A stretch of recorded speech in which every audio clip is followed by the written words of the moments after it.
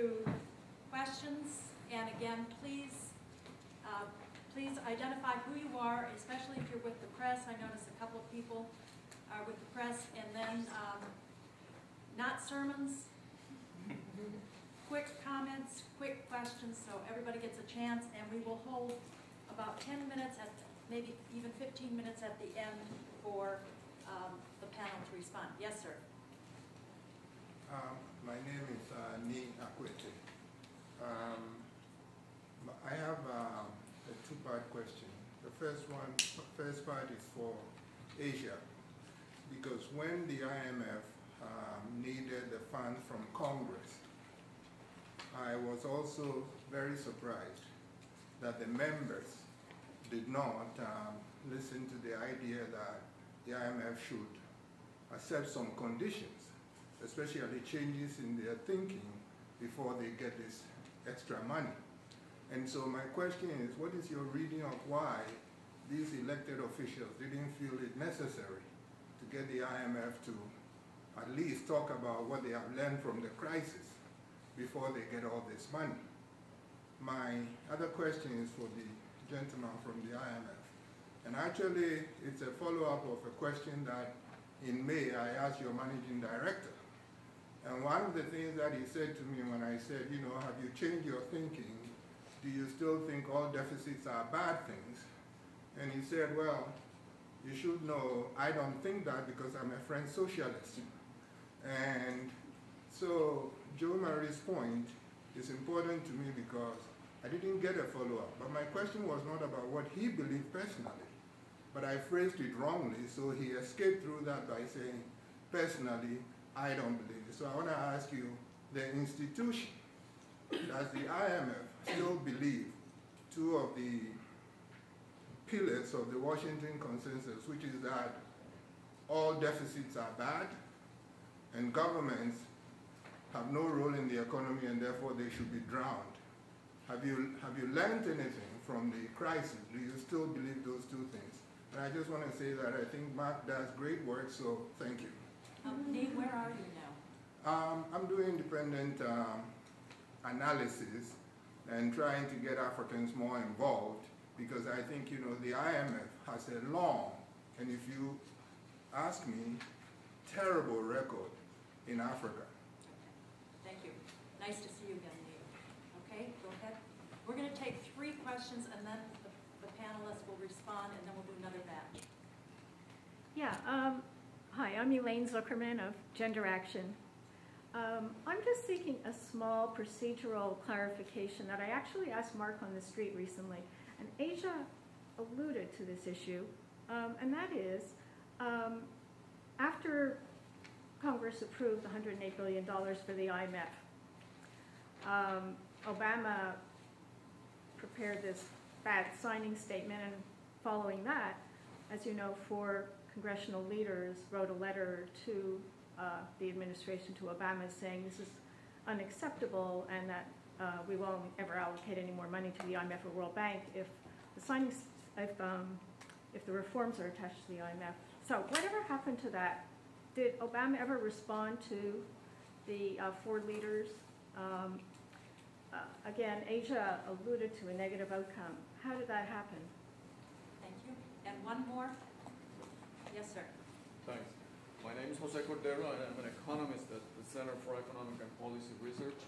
Um, um, I have a couple of comments on the uh, on this uh, presentation um, on the part of the of the IMF. Um, one of them is that effectively one of the arguments of the CEPR papers is that the IMF got it wrong when they made the, pro- the projections on growth on these on these countries.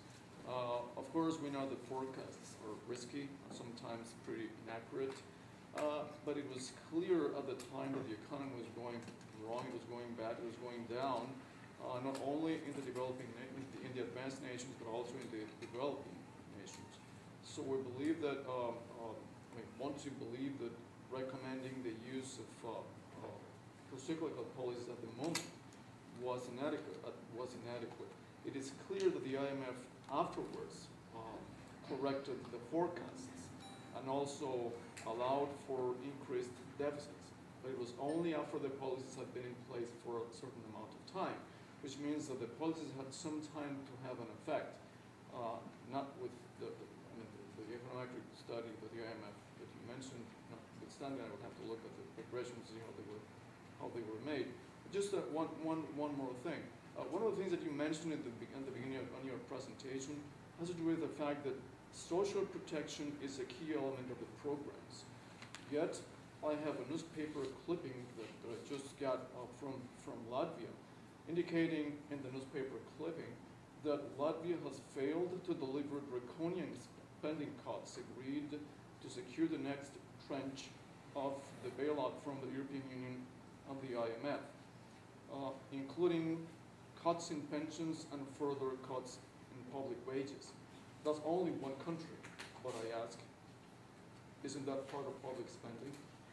Thank you. Okay.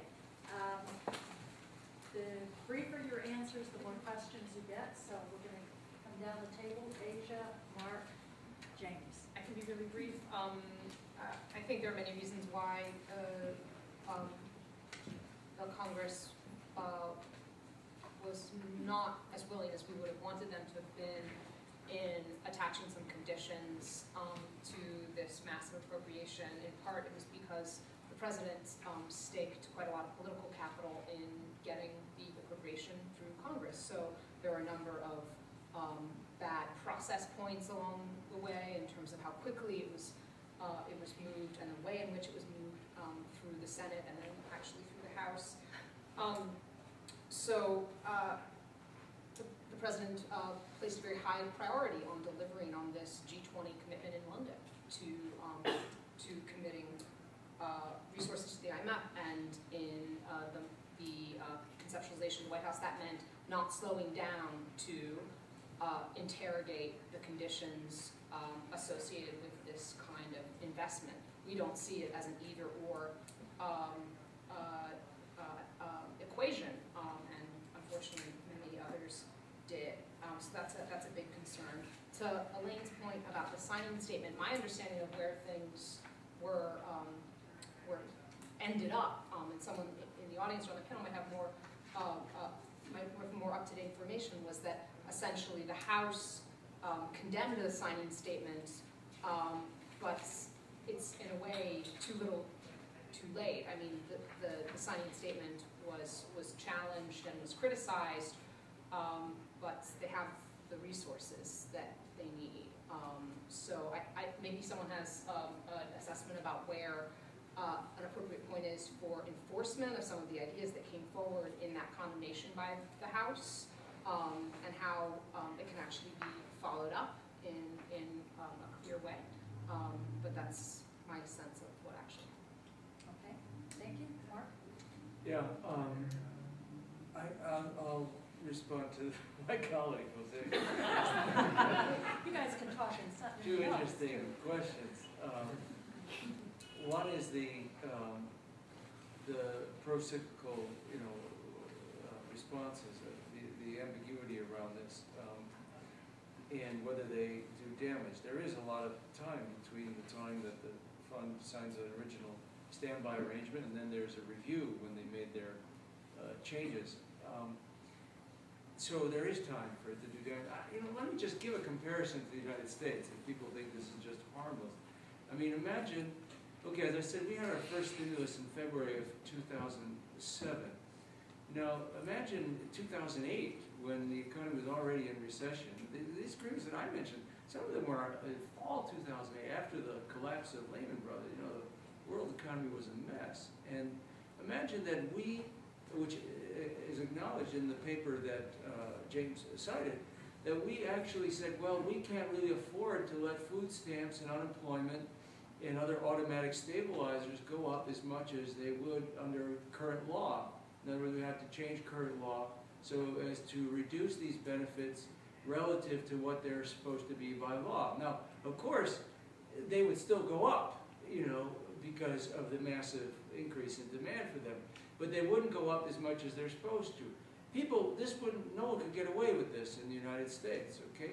So when James shows that 14 out of 15 countries had increasing fiscal deficits, yeah, they had increasing fiscal deficits because their economies collapsed, not because the government was taking a pro-cyclical stance.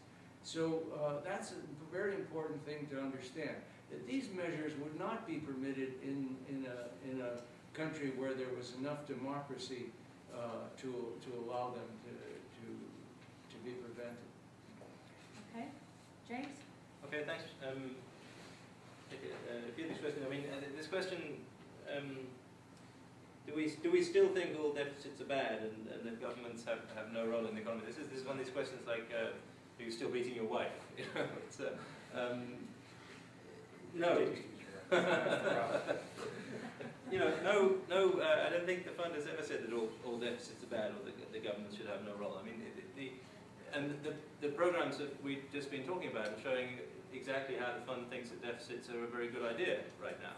Um, the question is when is the, the, the right time to, to run a deficit and when is the right time to run a balanced budget and what, you know, this is all about fiscal sustainability and that's been at the centerpiece of, of all fund programs um, for, for a long time now. And it depends from country to country, it depends on debt levels, it depends on interest rate levels, it depends on, on, on lots of different country specific variables. And there's no you know, simple answer that some countries should also always do something and some countries should always do something else. There's a, a cycle to be taken account of. We take a lot of uh, effort to try to understand what's happening to, to the cycle, to, to, to understand it. Clearly, now is a time when we want to see big expansions of deficits all, all, all around. Governments, uh, of course, governments have a role. I mean, governments are the ones uh, implementing these programs. We, we, we work with governments. That's what that's what we do. Uh, and so, you know, I, I don't think that's only uh, only DSK speaking. That's uh, that that's the fund. I mean, on, on, that, I can I can also pick up your question at the beginning that um, this this idea that somehow there's one person that's sort of changing the fund and and, and where the rest of us are kind of uh, not not uh, not with the program. I think I think that you know it un underestimates. Uh, what's happened in this crisis? I mean, it's, it, it's a major crisis uh, there's been a huge leadership role both by our management in the fund, but also a huge leadership role from, from the world. There's been a lot of coordinated effort from, from the G20, from other leaders to, uh, to respond to this crisis. And, and I think that you know, th those are all taken into account. And, and you know, I would say that the fund staff you know, have, have a role in that. We're not sort of trying to uh, push back all the time on, on people on, on, on what leadership is trying to get us to do. I think there's, there's really a lot of uh, uh, imagination and effort from, from the fund to, to rise to these, these challenges as well. So I, I just wanted to, to try to respond to, to that kind of idea. Um, on, on the, on the, um, on the question about, about procyclicality, I mean, I, I talked here about procyclicality in the terms that, that uh, the CEPR paper talked about it. So I was trying to explain on that. Now, in, in our paper, we do go into a lot more detail about what's automatic stabilizers and what's not. Um, and, and so, I, you know, just encourage you to, to look at that um, because, of course, you're right. I mean, a, a, lot of the expansion in the deficits is, is automatic stabilizers. As far as the, the um, uh, emerging market countries go, it's, it's, it, on average, it's pretty much all of it. Um, in, in, fact, there is a little, some, some pushback. It's, it's not so much on the expenditure side in emerging markets. I mean, the main automatic stabilizer we see in the emerging market side is, is on, is on, uh, is on revenues. And revenues have really you know, collapsed, as, as, as you say, in these, these countries. And that's why the deficits have expanded. Uh, in some cases, uh, we've, the, the, programs have gone further than that, and there's been real expenditure increases. Uh, in a lot of, on top of the revenue declines. In a lot of cases, they've, they've gone less far, and the implications of automatic stabilizers running completely uh, are too risky from a debt point of view, that there would be too big an expansion. I mean, there's a limit to how, how big a deficit can be, and I showed you these, you know, quite large numbers, Latvia, 14% uh, or, or, whatever it was, Ukraine, 9%. You know, so there's some very big deficits out there, and uh, they're, really, you know, it is not, uh, I don't think anybody would say that it's advisable to uh, just throw all caution to the winds and, and, and just throw, uh, throw massive fiscal deficits in, into there. We, you know, the fund is providing a lot of financing, including financing directly to budgets in order to meet uh, to, to allow expanded deficits, but there, there, there, has to be a limit based on, on financing, based on uh, debt issues, and based on sustainability. Uh, and that's what, I mean, in, in the paper we try to identify, you know, where those limits are and whether they're being set, set appropriately. And I, I think, you know, we, we we argue that they, they are being set appropriately. Okay, thank you. Okay, next round of Rationale questions. shows that there's no statistical, statistically significant difference between these two countries, or these two groups of countries. Um, Now, isn't this setting the bar rather low for what an IMF agreement should accomplish? And uh, second, in that light, um, this one's for Mark, uh, what would be a more appropriate role for an expanded IMF to deal with crisis situations? Thank you. Okay, one more question. There's a B. Edwards. Yeah, I'll be in Your next too. round. I wanted to um, reiterate the question that was asked earlier of James, which is, um, you said that the social protection programs were a key element of these standby arrangements. And what did you mean by that? What do those programs consist of? Okay, go ahead, Uh, My name is Robert Weissman, public citizen. I have a question, James. That's a legitimate question, it's not a question, it's an argument. Um, The, you know, the big chunk of the, of the conditionality focused on the financial sector. I'm really very curious just to know the fund's thinking going forward now. um, What kind of framework it has in mind for the financial sector? It- Do you think it's fair to say that there was a real orientation towards liberalization in the past and a, and a- and a larger financial sector? Do you see that shifting going forward? Okay, thank you. Um, Asia, do you want to respond to any of these? Yeah, just to come, in, uh, because it, it- it came up earlier, and, um, this, this issue about, uh, social protection featuring in some of the SBAs, um, I think it's important, um, to dig into that a little bit, in particular, the extent to which, uh, investment, so, a commitment to investment in social protection, that's important. But there's uh, serious concerns about um, what's possible in terms of expanding social protection in an environment where overall the uh, lending to the country um, is not countercyclical.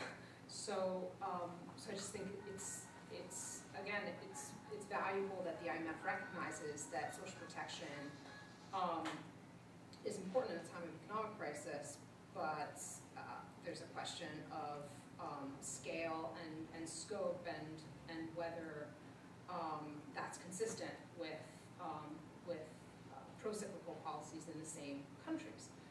Um, uh, yeah, that was just one point I wanted to come in on. Okay, Mark?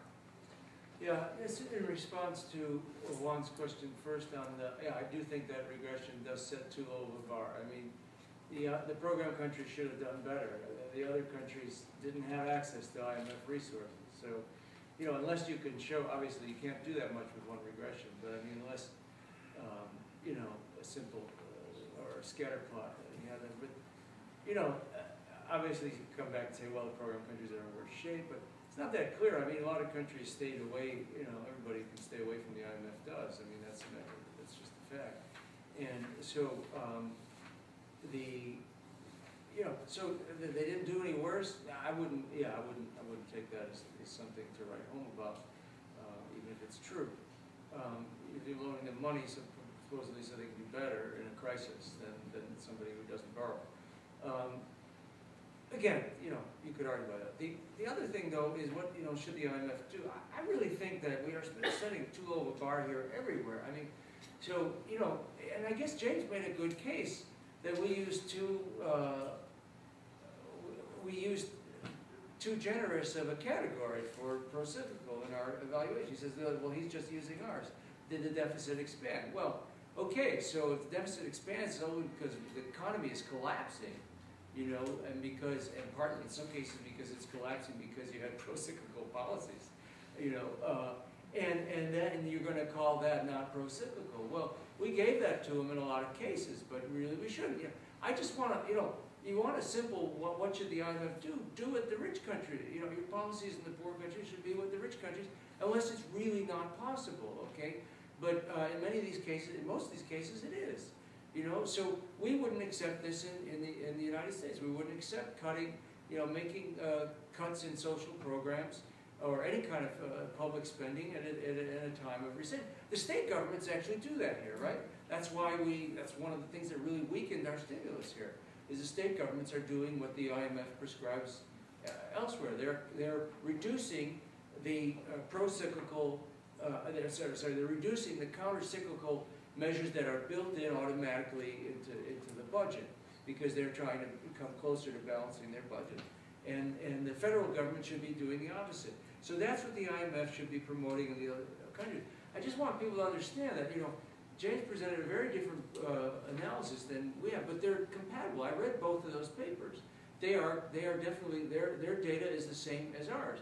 What they're doing is two different things. One is, you know, they're, they're not, they're ignoring all the pro-cyclical policies prescribed in 2008 that were later reversed. I don't see how you, why you would give that, you know, why you would say that that doesn't matter. And, and, and two, they're counting these cases where the, you know, the, the deficit eventually, you know, the deficit eventually expanded because of the collapse of, of revenues as uh, pro-cyclical. And finally, the other thing that they, you know, they have to do better, you, you can't, you know, okay, the consensus forecasts were wrong, all right? So the IMF did, was also wrong. But I don't find that as an excuse, okay? You know, it isn't just random, like, it isn't just, okay, you know, you have a distribution, some forecasters turn out to be right, you know, they're on the margins, like Roubini and Sieper, okay? No, you know, we were not right because, you know, we just happened to be right because we're always predicting gloom and doom. That we're not, actually, okay? We had a, a very clear analysis of a housing bubble that was painfully obvious as early as 2002. And, and my colleague Dean Baker tracked the size of it all the way till it burst, began, it peaked in 2006 and burst in, in continuing to 2007. And that's $8 trillion. And the wealth effect, as you know, is enough to send this economy into a very serious recession. In fact, it's worse than we've had since the Great Depression. So the IMF should be able to understand that when it's presented to them. They can't come up with it by themselves, they should at least be able to understand it when it's presented to them. Okay, and you know, I'll give you credit. You had four pages in the latest World Economic Outlook on, on the latest one, now, okay, uh, on housing bubbles.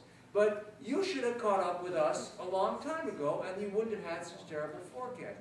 And you know, I'm not just bragging about CEPR. I mean, just it just so happens that a lot of economists, most economists, really miss this. But that's a terrible indictment of the profession, and the, and the, and the fund can't escape that by just saying everybody else was wrong. Okay, so they're going to have to do better on their forecasts. Okay. James? Okay. Um, sorry, I didn't, I didn't uh, come back earlier on the on the social uh, the social protection. I mean, we have a section in, in the paper on this, and, and uh, I mean, although a lot of these countries are um, facing very severe fiscal problems um, because of because of the uh, collapses in revenues they're seeing, the programs, you know, did involve uh, in protection of social spending within within the projections made in the programs, within within the commitments made by the authorities in in the, in the programs. Um, there was space for social spend, spending to be to be protected. I mean, one of one of the key issues has also been to try to find better targeting of, of social spending, because in a lot of these countries they have still inherited, uh, you know, very um, uh, general uh, systems of, of, social protection, which are too generous to a lot of people and, and don't actually protect the, the most vulnerable. Uh, and so there's, you know, there's there's efforts in that in that direction. There's been ongoing efforts in that direction. The problem is it's very hard to make these kind of changes quickly. This is something that you know you need the World Bank and others to come in and, and over over a period to do. So um, I, I don't know how effective you know in, increased targeting can, can be, but there have uh, you, I mean I just encourage you to look at the, the section in the paper. We have a chart showing showing that social spending, real real social spending is uh, increased in all but three of the of the emerging market cases, and, and I think um, uh, Young can confirm that we also have the same the same story in, in the LICs, where in fact I think there's actually specific conditions in some in some cases on, on social spending. Um, should we? Uh, is it too low a bar? I mean, this is a, this is a tricky question. You know, should the IMF countries have done better than the comparable countries? I I find that you know a little bit hard to expect. Um, you think about the countries, as Mark said, the countries, you know, they don't come voluntarily usually to the fund. They come because they face a financing constraint, a severe financing constraint. And I would find it hard to expect that they, they would do much, you know, on average, taking account of their, their initial conditions, that they would do much better. I think, you know, I think it, it is quite a strong result that they, they didn't do worse. Uh, I, I stress this because Mark specifically said they did do worse uh, than, than the other uh, because of the fund programs. And I think I actually never said that. in your intervention you did. I don't know if you uh, No, you did in the so. paper, but um, so uh, Worse than they would have done.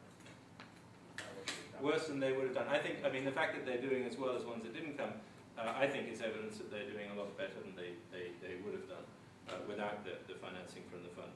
Um, quickly um, on, on, on the, the forecasting. I mean, just one point I wanted to make that the fund, uh, of course, you know, like you say, with, with everybody else, the fund was, was did have two rosy forecasts in early 2008, for example. But in, in terms of the policies that the fund was was uh, proposing, then the fund, I think the fund was well out ahead in early 2008 in, in calling for a global fiscal stimulus based on the risks that we saw to the to the global economy. And I think it was very important that the fund was doing that, and, and that, that, that that call was was heard around the place. So I think. Uh, uh, you know, in terms of the actual actions taken in order to, on, on policies, because of our concerns about vulnerabilities, I think the record is, is, is quite, is quite good at that, at that point. Okay, last round of questions. Yes, we'll take Um, four questions. Okay. I'm Susan Ozawa from the New School for Social Research. Um, just on rosy forecast, I just want to say there is an IEO study from 2003 that finds exactly the same thing, that there are systemic optimistic projections for both investment and for growth. Uh, in IMF programs, and it's something that's been picked up by non-IMF related researchers, but um, specifically that was 2003, so this is something that you guys have known about for a long time. Clearly, it should be adjusted for in your models. I wanted to know what adjustments, what adjustments have been made in your assumptions. Um, the next question really has to do with the scale of deficits that are allowed, because we've talked about how great it is that we've allowed these deficits to, you know, exist, even though they're kind of difficult to avoid, obviously. Um, but the question is really, um, do we see the IMF in the kind of Keynesian way that the IMF was perceived as, which is providing a role that these central banks cannot provide and these government, governments cannot provide otherwise. Um, and the real limitation would seem to me to be what are the reserves of the IMF? And I just did a back of envelope estimation based on what you guys have in gold reserves, and it's about 824 billion um, at market prices, kind of recent market prices. So clearly, you guys can, to my mind, you guys can allow a lot more than you have. Um, the World Bank has estimated an 11.6 billion shortfall in core spending for the poorest countries, and clearly that can be met by what you have in reserves. So I'm wondering what models you use. This is the specific question. What models do you use to identify what is the absolute maximum deficit that a country can run? Okay, there you go. Yes, ma'am? Hi, I'm Tamara Gaw with TransAfrica Forum, and I just wanted to ask a follow-up question on James' um, point that um, sometimes social spending is too generous. And um, I think my follow-up question is, um, in your mind, who makes that decision? Um, because I think uh, that there's a, uh, a qualitative and quantitative difference in people's perception of what you know, sitting on high might be an elevated level of social spending and what might actually be a more practical determination on the ground. So I just wanted you to kind of elaborate on your point on that. Okay, yes.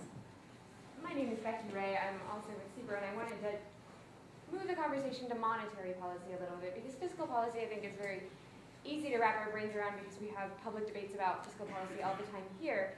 Uh, we've seen very high interest rates even in, in that chart, which obviously might help contain capital flight during a world recession, which is a valid concern, might also make a recession much worse. And I wanted to talk about capital controls or talk about, you know, you said we're setting the bar too low in general. Well, let's let's talk about what's possible. What, what other things could we be doing to prevent capital flight during a world recession uh, that might not lead to a worse recession? Uh, you, Rob, had mentioned capital controls, and I'd, I'd love to hear you talk more about what you could envision uh, a new role for the IMF including in capital controls and, and other methods. Okay, the chair recognizes herself. Um, I have two questions. One is, um, when you, okay, James said, when it's too risky, when people, um, it's too risky to spend more on health and education, it's just too risky. And, well, too risky to have additional expenditures or to have a, a- a deeper deficit. And when is it really not possible, according to Mark, when is it really possible to let people die of common illnesses and hunger? When is it not possible to expand expenditures? I mean, I just, I can't, I don't understand that. It's, I mean, which people are expendable? And I was actually, oh, I'll skip that story. Anyhow, um, the other question I have is that, I mean, we can challenge CEPR's work, you know, and you do, and we do, and everybody does, and that's fair. But, you know, in the end, SEPR is one of a large number of think tanks. There's only one IMF. When it comes to IMF evaluation, the IMF evaluates itself. The World, uh, the Independent Evaluation Office has not been evaluating programs, you know, specific programs. It does these great themes, two or three studies a year. But when I was reading one of the studies, I think it was on the low-income countries, as a good academic, you know, I looked at the footnotes and I looked at the bibliography. Every citation was IMF. I'm sorry, I would have flunked the student. I really would have. This is not legitimate evaluation, and you can't expect fund staff to be impartial evaluators of their own work or of their colleagues' work or their institution's work. And likewise, when governments are asked, and this is a study that Oxfam did with Debt Relief International, they did a comparable study to what Mark did, or a parallel study, and that is, uh, when the IMF goes and asks governments, well, how do you think we're doing? And the finance minister says, gee, great. Because A, the finance minister wants more money, and or B, he or she rarely, uh, wants a job in the IMF. So, you know, this credibility of evaluation is extremely important, and I think it, there's a relatively simple approach to have the IEO do it. Um, you know, I'm very familiar with the IEO, and I think it does have the independence to do the evaluation. It just have to, we have to go over and lobby the IEO and say, sit down, guys, we need to talk about this. And they could do it. But right now, what's done isn't credible. Even if it's perfect research, you know, there's, there's the smell test. Um, I mean, it may be flawless. Um, with that, I turn it over to, I guess, Asia, your last shot, before you do your final summation. So just coming back to this issue, and, and it's a, a point Tamara, but also, um, it, it came up, um, in, in, um, the last round of comments about social protection.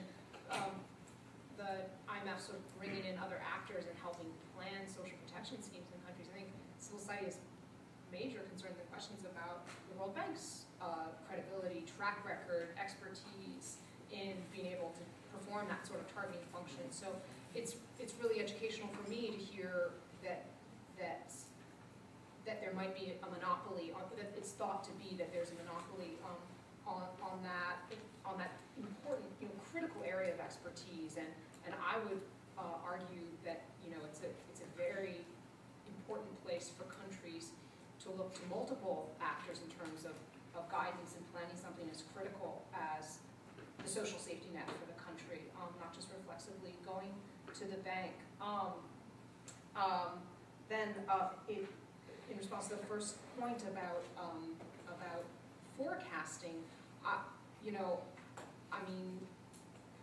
one clear issue that's come out of Istanbul, it's come out of Pittsburgh, is the opportunity for the IMF to, to have even more um, uh, dominant role as, as the world's banker. And I think if they missed um, this financial crisis, then there would be a, a massive concern in, um, or a, a, a, large uh, a question, mark over whether or not um, they have the, the expertise and whether it's appropriate for them to, to take on that role moving forward.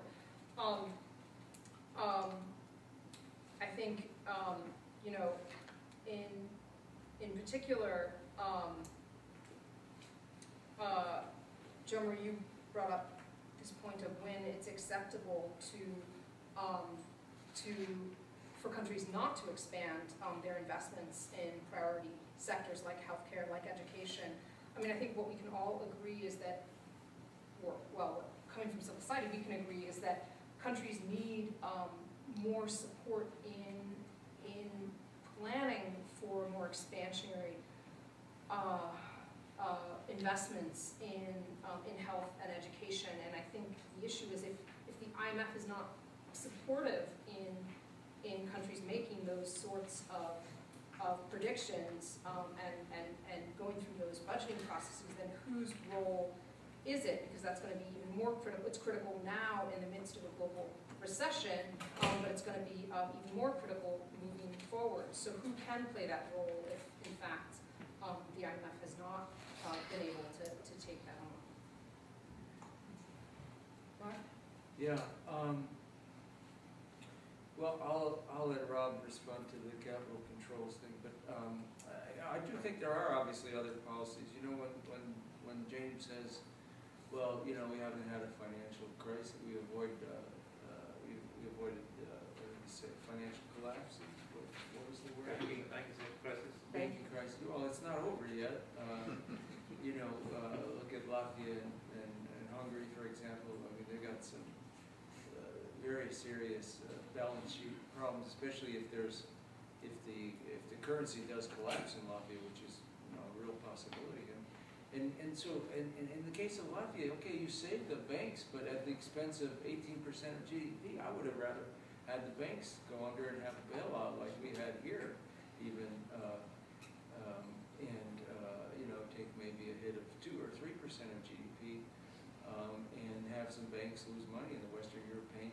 European banks that, you know, are loan there in euros, they would lose money, and, uh, and I think that's, uh, something you have to consider, is, is, you know, whose interest you're looking out for. When you talk about social protection, also, uh, in Pakistan, you had an increase in the IMF program of zero point three percent of GDP of, uh, of social spending. Well, I don't think that makes up for the pro-cyclical policies there. are Probably more people are gonna be hurt by the, uh, the budget cuts, the contraction of the economy and the unemployment and everything else. And again, um, when we get to this issue of what's possible, you know, what can they do? Um, you know, in a lot of these countries, everything is probably, you know, you're talking about really small amounts of money. Poor countries need almost nothing compared to the, you know, the, the trillion dollars of resources that the IMF is trying to get from, getting close to from the, the rich countries. So, uh, we're really talking about nothing. I think Asia mentioned the figure for the, to maintain uh, spending for the lowest income countries, you know, was eleven billion or something. It wasn't, you know, it's very, I think it's even less than that. And, um, you know, so you have that, and then you have countries like Ukraine where, you know, you say you have to cut, you know, tighten fiscal policy uh, there, and the whole debt is only ten points, the public debt is ten point six percent of GDP. That's a very low public debt, so clearly they have, they have to borrow for a couple of years, quite a bit, to maintain any uh, spending levels. So again, I don't think the criteria are, are reasonable, and I think the problem is that the IMF never really has to justify it. You know, they just say, um, well, you know, here, this is too much, or, you know, you have to cut uh, this, or you have to tighten monetary policy, um, which, sorry, we didn't really uh, get to that either. But that's a, that's another big, you know, actually, we should have really left that out, because a lot of these uh, tightening of monetary policy, which we listed, was taking place at a time when uh, prices were falling in the world, and, uh, and the threat of inflation was diminishing. So uh, there's really not much of an excuse for that either. So again, um, I don't say that, you know, anything goes, and the IMF can afford to throw, uh, you know, billions of dollars at governments that are completely irresponsible and are never going to be able to pay it back, um, you know, in, in the case of the middle income. But, you know, Jo Marie's point is a very good one for the, especially the poorest countries who need so little money. And they've gotten so little out of this expansion of the IMF spending. I mean, you know, as Asia pointed out, they can't really afford to borrow even at the low interest rates on the SDR expansion. So they can't really add to their debt. So what are they going to do? Well, I think in a time like that, they should, the, the IMF uh, and uh, should, should be able to, should, should be uh, willing, you know, should be willing to consider grants. People have proposed that before as well, for low-income countries, grants instead of loans. So, uh, um, and, and that should be obviously the other lending institutions as well, like the World Bank, instead of adding to debt. So there are a lot of possibilities, uh, that are just not uh, really considered. Okay, thank you. Um, I'm going to go to James next, and then, uh, because we are all but out of time, Rob, when you make your statement about capital account liberalization of controls or whatever you want to say, that's, that's the closing of the envelope, okay? So James, your last statement. I feel like a talk show host, game try, show. try and pick up, pick up uh, as many of these points as I can. Um, on, on forecasting, um, you know, this question of whether, whether we, we favour um, program countries. I mean, within a program, it is a it is a the authorities program. Again, I can't stress that enough. We are we are supporting the authorities program. Um, we build, you know, we have to agree with them on what, what the program looks like. Um, and part of that is what the uh, projections look like. And I don't think we can uh, go completely, you know, off, off, off the reservation there. I mean, we can't be completely um, different from what, what everybody thinks is going to happen. And, and I mean, uh, so I, as I say, I, I don't, um, I don't, I, I, I I think we are trying to improve our forecasting, and I think there's a lot of ways we can look at improving our forecasting, and we are doing it with early warnings and financial sector vulnerabilities and things like that. I'm not sure we're ever going to get that good at it. I, that's why I stress the importance of adapting policies, that we're ready to change policies, uh, when, see changes in policies when, when, they're, when they're needed. And I think that's what we've, we've proven in this, in this crisis, that we, we are ready to do with these very dramatic changes in, in, uh, in economic circumstances. Um, is there a limit to uh, how much the deficit can go up? I mean, here we heard a lot about debt at the beginning. People concerned about increase in debt, that we're building up a new debt problem. Uh, so, you know, it, it's a balance, right? I mean, now grants may be one way to, to meet that challenge of, of more uh, government spending uh, without building debt, uh, but the IMF, you know, now is a, a lender, and, and that's that's what we do. And so when we uh, look at um, the what's sustainable, uh, what's a sustainable deficit, uh, we're looking at sustainability from a debt point of view, and that's what we, we have to do, and we do it across all our, our programs. As I said, I, I think you know we try to get the best balance we can, and, and we, we often have large expansionary policies, which which is what, what we're, we're doing now. Um, on social spending, I mean, we are not. Uh, I think the point I was, I was making is we, we're not the experts. It's not that you know only the World Bank or, or only anybody else is the experts on this. It, it's, it's something that, that the fund uh, understands the importance of and stresses the importance of in, in our discussions with, with authorities. But we, we, we are not able to design these things ourselves. I mean, it's something the countries have to do uh, with whatever advisors and partners they, they want to do. Um, are there, are there some systems that are too generous? Again, I mean, I'm not the expert. I, I spent some time in Bulgaria, and I think if you look at any of these uh, emerging uh, Europe countries, you will find systems that, that are widely regarded as being badly targeted, and that there's a lot of scope for improving targeting. But uh, um, that, that was really what I was, was referring to there, that with the same amount of, uh, of resources, uh, there can be ways to fight, to protect the most vulnerable people more effectively than the initial ways of doing it. And I think a lot of countries are taking you know, important steps in, in that direction. Um, capital controls, um, I meant to mention earlier because they came up at the beginning, and I think it's a very interesting topic and an interesting issue. And I, I, I just want to confirm that the fund is not, you know, completely against capital controls in, in every circumstance in, in any way. And indeed, in these programs, you know, some of them have capital controls. Notably, Iceland uh, has extensive capital controls. It had more extensive ones at the beginning, but still has a lot, and they are, you know, the authorities are intending to lift them, and, and within the program there's a plan to, to, lift them eventually, but they're there in the program. Uh, Latvia um, has, has had uh, a deposit freeze on one of the main banks, partial deposit freeze. Uh, Ukraine and Pakistan have both had uh, capital controls that were lifted within the context of the program, and really it's a it, you know it's it's a it's a question uh, of, of you know what what's going to work best in these in these cases, and and uh, you know we, I don't think we're, we're certainly not saying they should never never, never exist. Um, often country authorities, again, you know, do not want to, to, to take them, and, and, and it, it's, a, it's a decision for, for Um, uh, on um, on the banking crisis, uh, yeah, I mean, I couldn't I couldn't agree more with what uh, what Mark said uh, so far, uh, and I should have said that in the paper. We do stress this a lot. So far, there have not been a lot of banking crises. We do see uh, a lot of um, you know potential credit problems may build up in in, in banks. Um, we see NPLs, non-performing loans rising. Uh, and I think there is there is a risk of further further problems down the road. There's a lot in, in the programs agreed with the, authorities to try to address these things with uh, bank uh, restructuring, debt restructuring initiatives, um, uh, recapitalization and things like that. But I, I think it's some of those are not moving forward very fast, and I think it's very important that they that they do. Um, so I, I, I certainly agree. Um, so uh, I think I'll, I'll stop there. Um, did you want to speak to the financial sector question that was raised? Speak to the, what you said, Well, how will it change? How will regulation? how it's changing? Yeah, I mean, I think this is a massive question, which is which is sort of beyond. Um, Give us a paper to read. well, it's it's sort of being thought about. I think I don't I don't think um, you know I think there's a recognition around the world that that uh, things have to be done on regulation, and there's a lot of efforts um, in, in a lot of fora on that, including and the, the IMF will you know will, will be playing a role in that.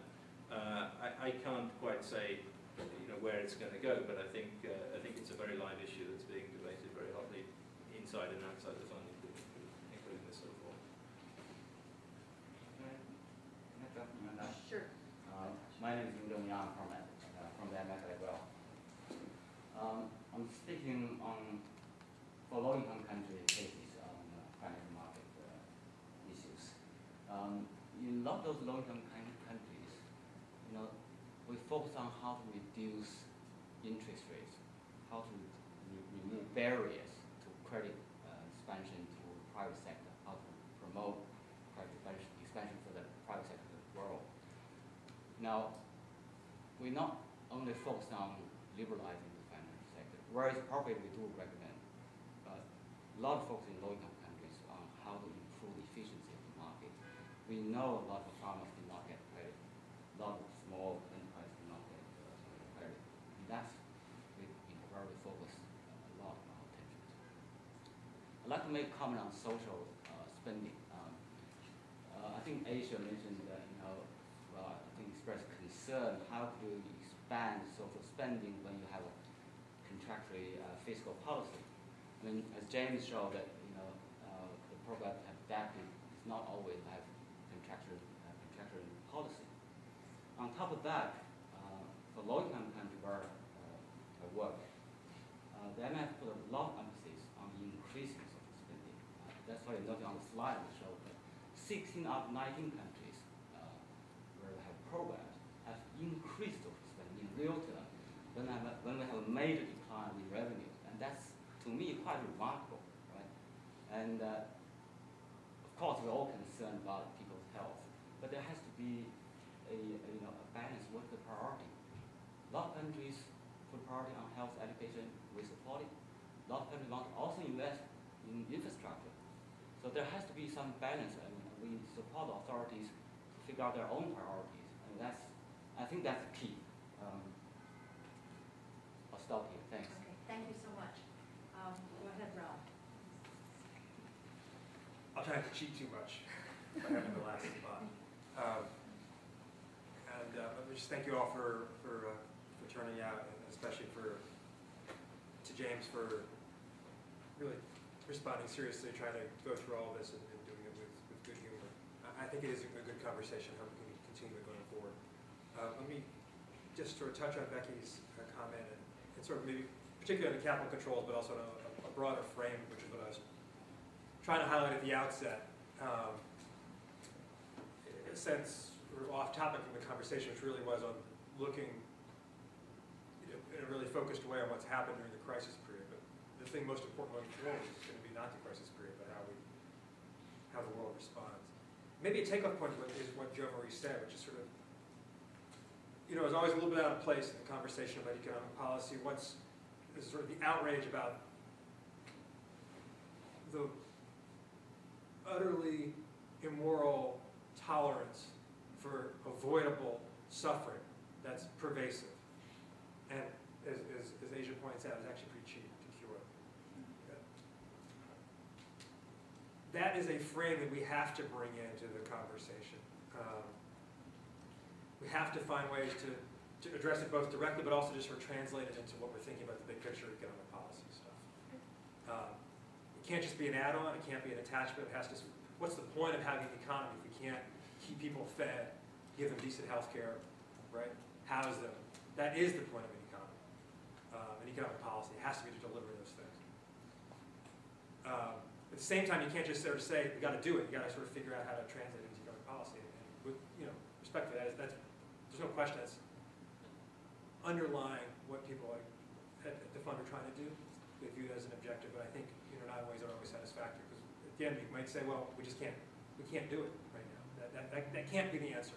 The answer has to be, we can do it, and how do we figure it out? I happen to think that capital controls are an important part of the answer. One reason I think they're an important part of the answer is the point that James is making between the debt and the deficit issue. Let me come back to that in a second. Just clarify where I understand the fund is on capital controls.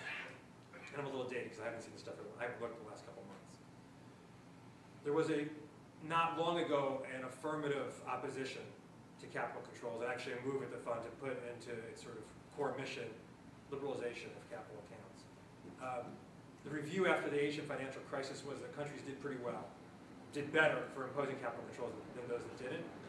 Uh, that institutional sort of uh, mandatory policy or bias against capital controls was abandoned.